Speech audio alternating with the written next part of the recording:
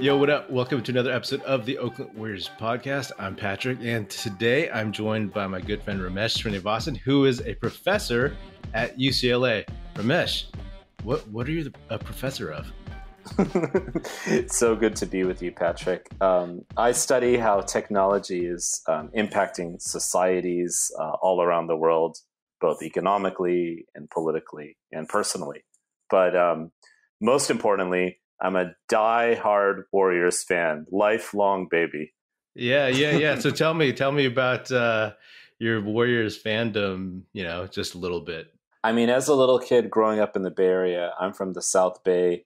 You know, anytime my parents would give me a shot to like, you know, peer into the world of entertainment and media and even sometimes video games, I would take it. So I grew up watching Run TMC, man just I love the flow of that offense. I love the passing. I love the shooting. I kind of loved how we could run up the score and get scored on a lot sometimes. and uh, that was my history. And then I, like you, Patrick, uh, lived through decades of uh, very, very uh, difficult uh, to watch teams. Yet I watched them, and I remember I would like sneak down to sit front court at the Oakland Coliseum uh, for like ten bucks. I'd pay ten bucks to get into like you know the nosebleeds, and then I'd like end up sitting right next to the front, next to the court a couple times back when we weren't the best of teams. Oh my god, I did that too. We, yeah, we did that too. We used to get like cheap seats, and then because no one was really there and security was kind of lax, you would just like when people would leave at halftime, you would come in, take their seats, and then eventually get booted. Yeah, they were mostly chilling because we were always losing, and every and all those people weren't there anyway. Especially after a little while, living with the Warriors, like you know, over these years, it's been really special. I've been super passionate. I love your podcast. I'm a total Warriors fan through and through. Um, I go crazy watching the games. I'm really passionate about them. Yeah, I love yeah, them. Yeah, I love them so much. Yeah, no, it's awesome, man. We watched the opening night game tonight, the Lakers versus the Warriors, and we were we were spazzing. and so, I mean, I got I had so many thoughts about that game. I was tweeting like crazy. I probably lost a few followers because I was so annoying.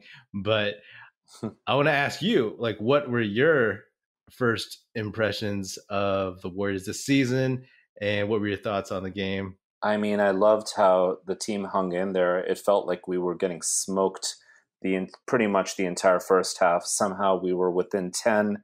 I think it's because we balled out and played pretty good D. Um, you know, Curry couldn't really shoot this entire game. But honestly, the fact that we played hard, we stuck in there, we made some dumb mistakes in the first half. We hung in there, and then our depth, we have depth. Uh, it really picked up, and we started scoring. Uh, we we are we have so much more offensive firepower, and basically the team looked like it was on an offensive level, like it was Kerr's passing offense again. There were a bunch of players we saw today. Um, who are capable of, of making the right pass, cutting in the right way, um, passing the ball to the open man, and that's that's Warriors ball. I mean, it was really really wonderful to see how they could step up like that, even when Curry was playing hard, got a triple double, but wasn't really shooting and lighting it up. He shot terribly, and I swear, like they would not have even sniffed this game last season at all. Like when he was shooting this this terribly, and I kind of agree with you. Like one thing that I thought there were like so many little thoughts that I had the whole time and I was taking notes and all this, but like the bottom line and this was something that we saw a hint of during the preseason, but you know, there's only so much you could put on the preseason was like I kept writing down like this is the return of the beautiful game. You know yeah. what I mean? The Warriors passing style, passing game, ball movement, back cuts, the stuff that they did during the dynasty and i won't get too far ahead of myself but the mix of players that they were able to bring in when they couldn't get like their first tier they couldn't get nicholas batum they couldn't get right. patty mills but they got otto porter jr and kind of the man of the hour uh nemanja bjelica. I mean he was the man. He was the man. I mean these are players who know how to move without the ball how to pass they have court vision. I mean, it's what we call IQ, right? I mean, they had high high IQ players. His stat line: Bjelica played 26 minutes. He was six for seven from the field, one for one from three, two for two from the line. He had 11 boards, four assists, one steal, and he was plus 20 with 15 points. I mean, what the hell? Like, I mean, at a certain point, uh, Patrick, I saw Tim Kawakami uh, tweet this. Bjelica was like plus 27 and Russell Westbrook was minus 27. I mean, that was like an epic tweet. And that really said it all. I mean, you know, there has been a lot of like questioning about Kerr also over the last two years, right? And I think that one thing that maybe some of us forgot or haven't paid enough attention to is that guy is an offensive mind. And, you know, he, when Kerr came to the Warriors, as we all remember several years ago, he took an extremely talented team that was playing good, tough D under Mark Jackson and turned it into a superpower, right? I mean, look what mm-hmm. happened. We won the we won the ch- you know we won the chip the next year.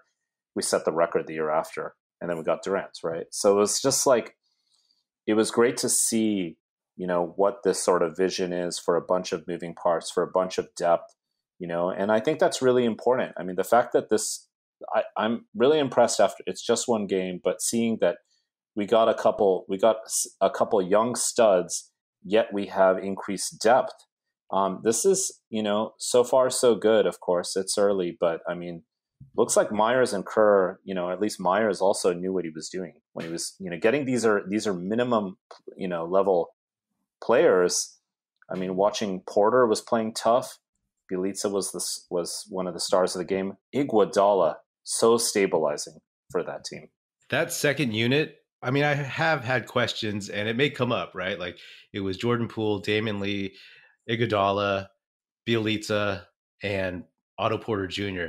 And I've said the concern that I have about that lineup is like there's a lot of shooting, there's a lot of basketball IQ, a lot of savvy, but I do worry that they're a little unathletic and slow. But in this case, that basketball IQ, the passing, the smart playing, all that all that jazz experience plus Jordan Poole, it actually worked for them. I, I, was super impressed. This was really like kind of a tortoise and and the tortoise and the hare type thing, right? Like right. everybody knows like these Lakers players, right? They is an all star team yeah. from 2012.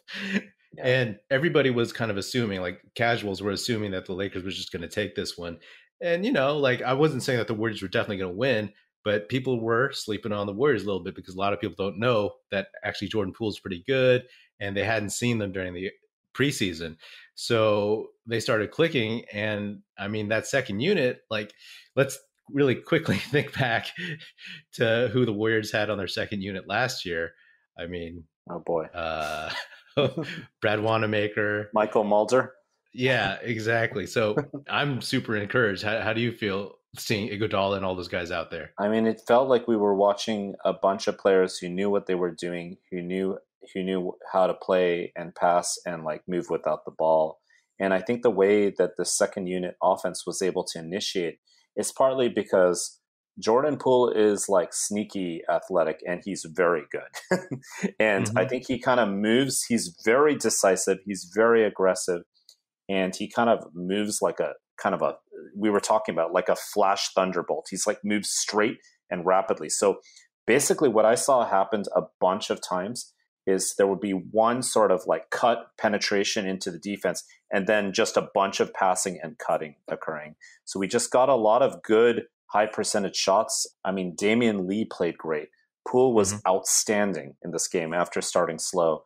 I mean, look at that depth, right? I mean, we did. This is a very, very different uh, picture of a team. Last year, it was just you know beg for Curry to score forty at times, right? Yeah, yeah, and the whole tortoise and hare thing. It it really was like the Lakers started off strong. They're like big and uh, intimidating, like they're, but the Warriors they just basically just kept at it, kept at it. I mean, we've heard snippets of Kerr coaching his teams over the years, and a lot of those when he's in the huddle, he always says like, "Hey, this is how a game goes. Let's just stay with it. Let's limit the turnovers, like yeah. play defense, all this stuff." And that's exactly what they did. Like at a certain point, the percentages and the expectations started playing out a little bit more, and the Lakers started missing shots.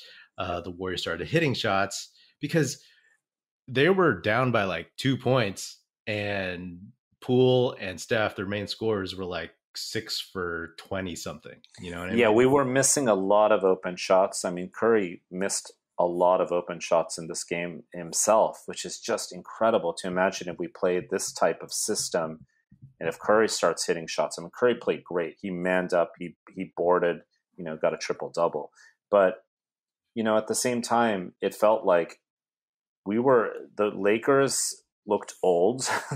they yes. had they had two players play great. They're two superstars, and they had this third supposed superstar uh, not play very well, very inefficient. Russell Westbrook, you know, and we had you know contributions of eight nine players today, and that just made a huge difference. I mean, we started hitting those open shots. I remember you and I were talking about it just with a couple minutes left in the third. We were down, I don't know, like eight, ten points, but it mm-hmm. felt like if we hit one or two like open shots, that we could just get on track. And then we just we steamrolled in the fourth quarter. Yeah, I mean that's that's exactly that's exactly what happened.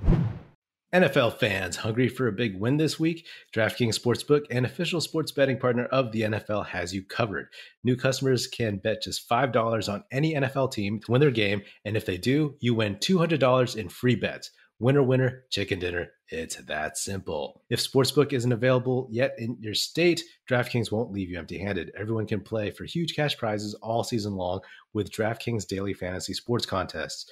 DraftKings is giving all new customers a free shot at millions of dollars in total prizes with their first deposit. Download the DraftKings Sportsbook app now. Use promo code TBPN Bet just $5 on any NFL team to win their game and win $200 in free bets. If they win, you win with promo code TBPN this week at DraftKings Sportsbook, an official sports betting partner of the NFL. Must be 21 or older, New Jersey, Indiana, or Pennsylvania only, new customers only, minimum $5 deposit and $1 wager required. One per customer, restrictions apply. See DraftKings.com slash sportsbook for details. Gambling problem? Call 1-800-GAMBLER what I find really interesting, and I've talked about this in general before, during our lifetimes, I mean, we're the same age. Yeah. During our lifetimes, the Warriors were so bad for a large chunk of that. Uh, until the dynasty and a couple playoff teams here and there in the Run TMC era. And the Lakers were always good, but when the Warriors finally got good, the Lakers were really bad, right? Yeah. And so I got to say, like, this might be, this is probably the first time in our lifetimes that the Warriors and Lakers are both very good and both have title aspirations, right? Like Absolutely. we've never had this rivalry. It's crazy.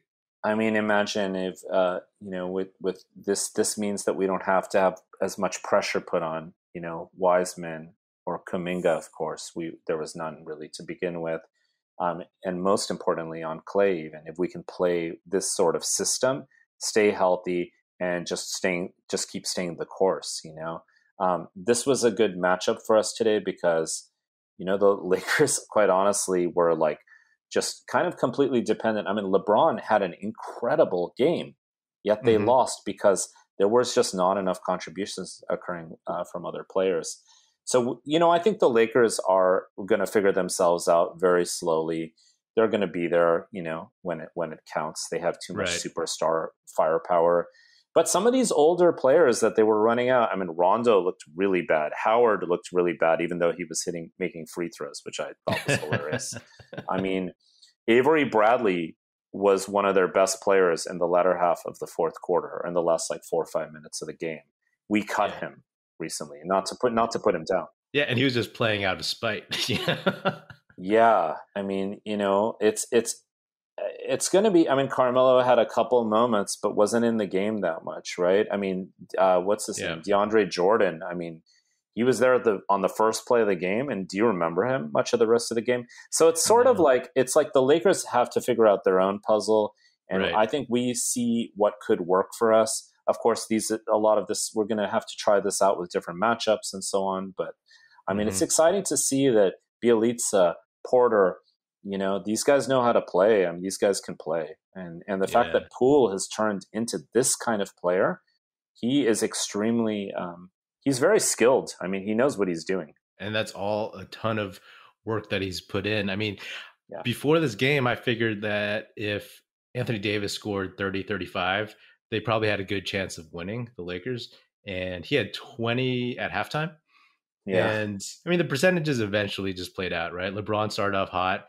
He played a great overall game, but then, you know, his shooting did cool off a little bit. Yeah. I agree. Like, if the Warriors had lost this game, I wasn't going to overreact to anything. And I'm not going to overreact to this for the Lakers or the Warriors. But for the Warriors, like, it is promising. It is promising to see that what was hinted at during the preseason is real, that they do have chemistry, that this beautiful game that we came to love so much from 2014 to 2019 that it is likely coming back in some form. And uh, the Lakers, yeah, I agree with you 100%. Like they will figure something out. It oh, may yeah. not be the most enjoyable brand of basketball. It might be like your turn, my turn type deal. But uh, you know, I think these guys will both be standing somewhere somewhere towards the end. Yeah, and I think today, you know, more than anything, I think we saw that what the Warriors need to focus on is playing their type of basketball. The thing that sort of surprised me, Patrick, is how well we played on defense. I mean, I think partly I noticed us getting a lot of deflections and steals. We did play very hard. We got some we got more loose balls than I thought we would have.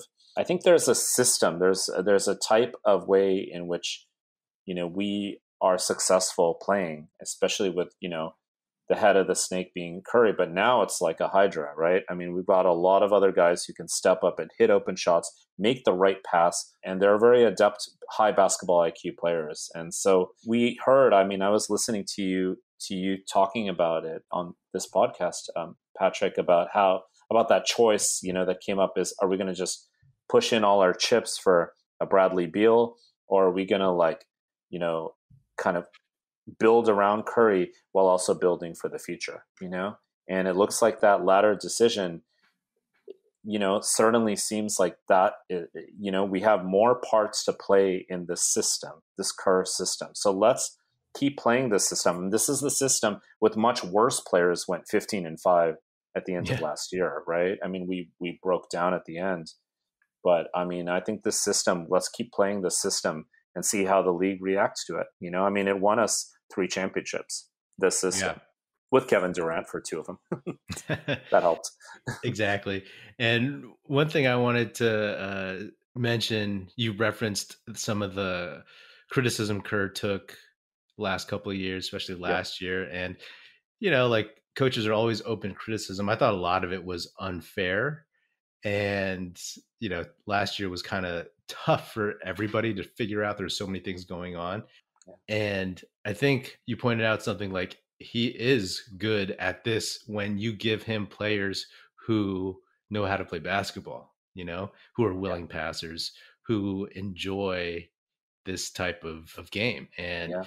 bob myers God bless him. Like he had his first list of guys he wanted, and then his second list, and who knows where these guys were, but they're they're good finds, and hopefully they put them in some kind of cryogenic chambers so they don't they don't get injured. We need these guys to stay healthy. I mean, I was particularly thinking that just when you were saying that about Iguodala. I mean, look at how he looked today. I mean, he just looked like he's so stabilizing and solid. Yeah. Like he's in motion you know, he doesn't really force that many passes. Like there's just constant kind of like motion and darting and you know, he was just fantastic to see him. You know, again, like Kerr always called him like the grown up on the court, right? Back in the mm-hmm. day when we had no bench. I mean, mm-hmm. now look at I mean, look at look at this now. So the fact that we kind of stabilize the team around, you know, the core of Curry and Draymond and Klay when he comes back, yet also have these sort of you know dynamite pieces like for the near future or even a little bit in the present you know is amazing so that's really exciting we even saw moody you know make a cameo he played in flow you know he made he made a couple good plays got his first points i mean he was he played in the system and i think we saw that today yeah, I mean that's what's going to make Moody. That's what's going to get him in the rotation faster yeah. than Kuminga. Just the skill and the plug and play of like you do this, you do that, and he's still and he's already really good at those things. And Iguodala, I mean he he is not going to be able to do this every game. He's going to have to sit games. But the thing is, like he's built for these kinds of games, these high leverage games, and sit him against OKC, sit him against the Kings. You know opening night. Yeah. At the at Staples Center on TNT prime time, and he unspectacularly for a lot of people, but for us, like we know what he does. He stabilizes that unit, and we need to keep him, Otto Porter Jr. and Bjelica. Man, we need to we need at least two or two of those three healthy at all times. Yeah, and Otto Porter Jr. didn't play that many minutes, you know, probably because of matchup issues, but you know, you could unleash him. I'm feeling excited. I'm feeling confident. I'm feeling like it's a promising season. I think will be pretty enjoyable. Yeah, let's just, you know, buckle up and enjoy uh, what's to come here. I mean, I think the Warriors, you know, as I said, we're chasing wins. We're not focused. I mean, it's a different season. It's not about sort of trying to figure out and force Wiseman in or build the offense and, you know, kind of it, we have a different set of priorities now, and we have the depth to be able to function in this kind of motion led offense and integrate the youth into it rather than kind of have a couple different identities. I, I think Kerr got unfair criticism around that last year, but at the same time, I mean, mainly the criticism rested upon you know this kind of a scattered offensive identity. But we didn't have the players for that and now we do. Everyone you know god bless them i hope they just stay healthy and let's play them sparingly. Let's get these kind of wins and let's chase wins. I mean, that's what Kerr said we're going to do. That's what we're going to do.